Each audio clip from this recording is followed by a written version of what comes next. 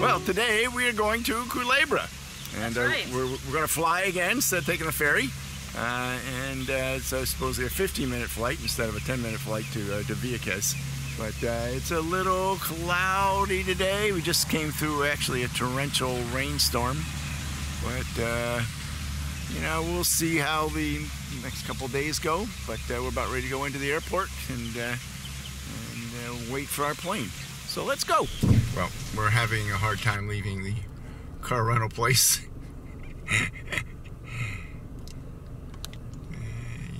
Just wandering down the road very slowly. And the woman who rented us the car was yelling at them because they had knocked down her trash and were eating it.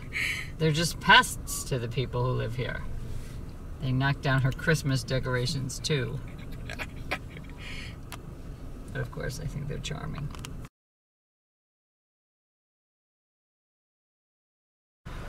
Here's the entrance to the Playa, Playa Flamenco. It cost us uh, $2 for each person plus $5 for parking, so $9 to get in there today. So here we go, onto the world famous Flamenco Beach in Culebra. And just as the sun is starting to shine a little bit through the clouds, it's a plane coming in.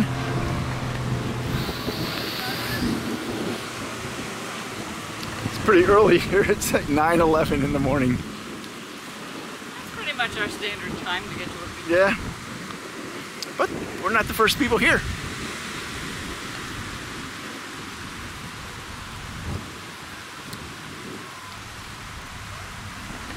And Here it is. The world famous flamenco beach, and uh, I think we're There's my pelicanos. let's go see if we can find uh, some shade.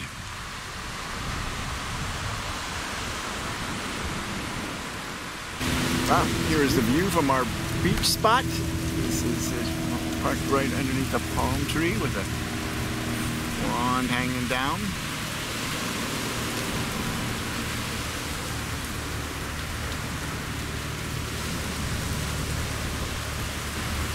One of the iconic sights of Culebra here is the abandoned tank. Uh, all pictures I've seen of it has actually been up on the beach, but uh, doesn't look like even like high tide, so I, don't know what happened here. Maybe the beach eroded and it's no longer up on the beach like it was. Well, amazingly, there's uh, more than one here, so uh, maybe the one we're seeing down here on the beach is not the one on the famous iconic picture, but uh, I suspect that we're pretty well protected here on uh, Culebra. What do you think there, Sa? I feel really protected. Ah, yep. Nothing's going to harm us.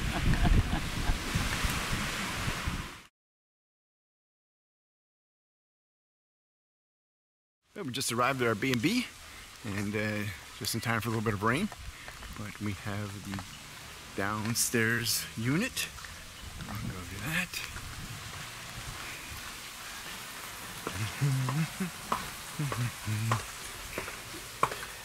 And Lisa's, Lisa's already making herself at home. to the Gypsea Mermaid Guest House. And we have a little, little table. Sweet. And uh, There the she is. over here? That is the beaches of Culebra. oh, wow! I wonder how many we can hit here in three days. I know Carlos Rosario says to have really good snorkeling. We've been to flamenco. And, uh, all right, so let's go into the apartment. And did you see? There's actually one more hammock here, Ah. which is not unfurled at this moment. And you enter into the bedroom. This is nice size. Looks like it's a king size bed. Yep. You have a choice actually. It can be king or two twins. Ah. depending on. And go into the bathroom. The bathroom, not too bad. The living room. And we've got the kitchen. And it's a nice sized kitchen. And uh, with a uh, old style microwave, but uh, obviously that's new because the old style microwaves are like, you know, huge, and uh, you know, a little itty bitty oven. So I think we're uh, I think we're set here for the next three days.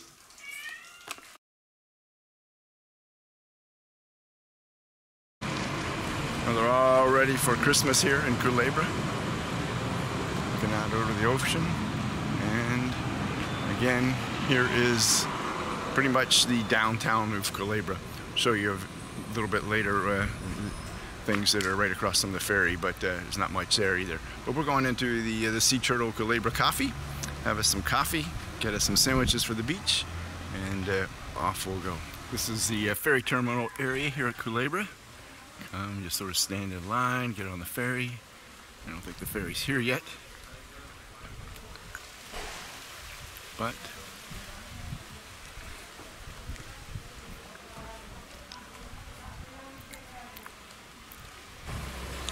again, the ferry terminal area.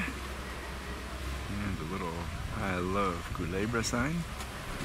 And right behind this guy is where the ferry docks. But the ferry's not here yet. But we can see that it's probably coming in soon. As we look behind us here, a bunch of bunch of vans ready to pick up people. So let's uh, take a quick tour of some of the shops right across the street from the ferry. But this is not a super hopping town.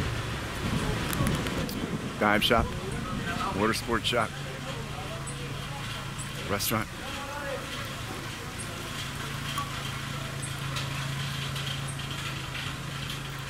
And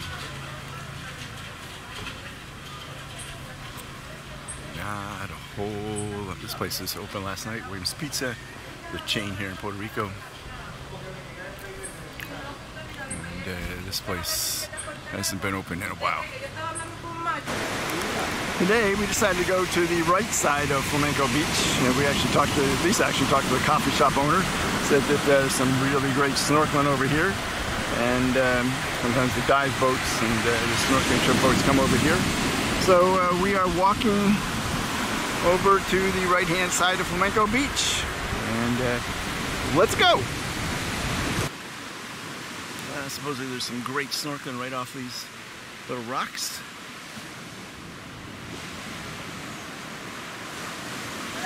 There's Lisa. And look at this gorgeous beach. No wonder it's world famous. Not just for the beach, but also for the snorkeling.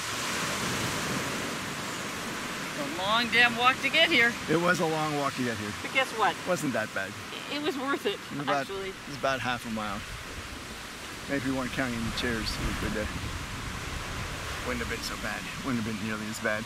We'll have to go half a mile back for lunch. Well, this is just an incredible day at the beach. Know, pretty much uh, isolated here, had the beach to ourselves, at least over here on the side where they said all the snorkeling was. And the snorkeling was just fabulous. Fabulous. We just got back from following a, um, a ray for 30 minutes. I mean, 30 minutes we followed that ray until uh, it got a little, took us in a little too close to the shore and got a little murky because they were close to the waves. But uh, it was it was just incredible, and uh, it was just uh, just a great great day here. And you can see the beauty of this beach. You can see why they call this one of the best beaches in the world here.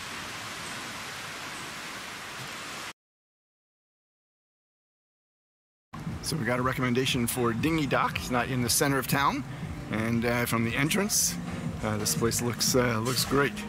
So looking out over the, the harbor, and uh, hopefully find a find a seat here.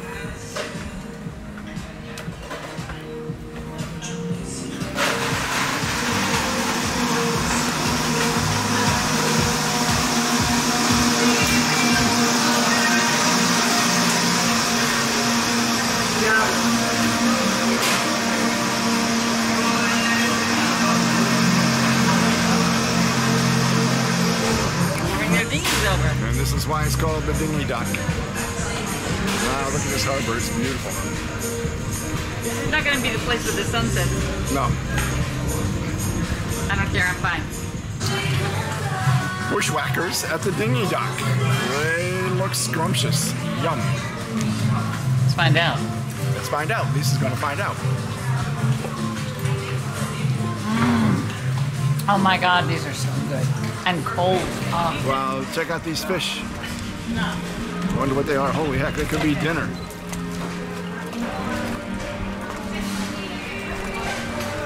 Uh, we're just uh, terrible YouTubers. We never do the food porn. But uh, here's our dessert, the brownie sundae, just as the suppers are supping by. It's our second brownie sundae. Yes, exactly. It's our second brownie sundae. We didn't take one the first time. It's a beautiful morning here in uh, Culebra. Today we are having our breakfast and our coffee at uh, Black Flamingo Coffee. Pretty interesting place. Open Thursdays through Monday.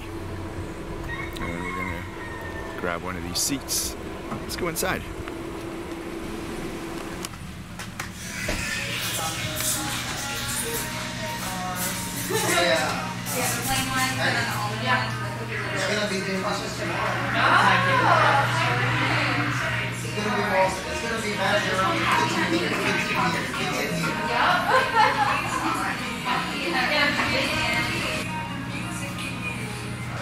Check out the walls. It's full of uh, people writing on them. And the ceiling. Some of it. It's not even from here. Did you see there's an article called, And this is Supposedly Melones it's got Beach. Best snorkeling here in uh, Culebra. That's what we've been told by two people here. Our Airbnb owner and the uh, and Don, who uh, owns the Culebra Coffee. This is not the supposedly the snorkeling side. This is pointing out to the harbor. I'll show you the, the snorkeling side. We do have a snorkel around here. Uh, off in the distance, that's uh, Puerto Rico. And uh, we decided to. This is this is, this is a little rocky beach, so it's not typical sand. It has a little shade on this side, and uh, we have uh, Lisa just chilling before we uh, we go out, and uh, we're about ready to go out pretty soon. So they take some video of the other side. And here's the ferry leaving from Culebra. Okay, perfect. He only has one uh, person working today, so and mom is busy in the terminal all day, so he didn't know. And here is the cargo ferry coming into Culebra. Stuff has to get delivered. Gas, food, cars. This is how it comes in. Here's the snorkeling side. It's a little more rocky here. Little place to get in. And over here by these rocks here. See some people snorkeling over here, but you can see some of the. Uh, ooh, well, I guess that doesn't really matter, does it? Um,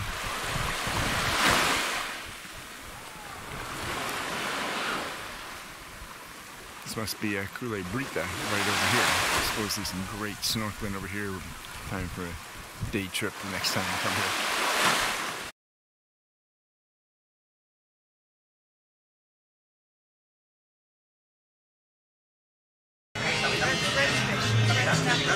Codfish Hogfish and uh, yellow snapper. and yellow snapper. School snapper. Gonna be fresh fish tonight here at the, the dinghy dock. Cheers. I'm enjoying a bushwhacker. Before we get on the plane to leave Culebra after three phenomenal days, we had a great time. Not a place to go for nightlife, that's clear. And there's not a huge number of dining selections, but we found a couple that were fabulous, including this place where we are right now, Dinghy Dock, where I'm enjoying this wonderful bushwhacker. And we also had the most fantastic, unbelievable, phenomenal snorkeling experience we ever had in our lives. So until next time, may your suitcase always be messy. And don't forget to subscribe to our channel and ring that bell to be notified of our other videos. I can hear them making the next drink back there right now. Until next time, hasta luego.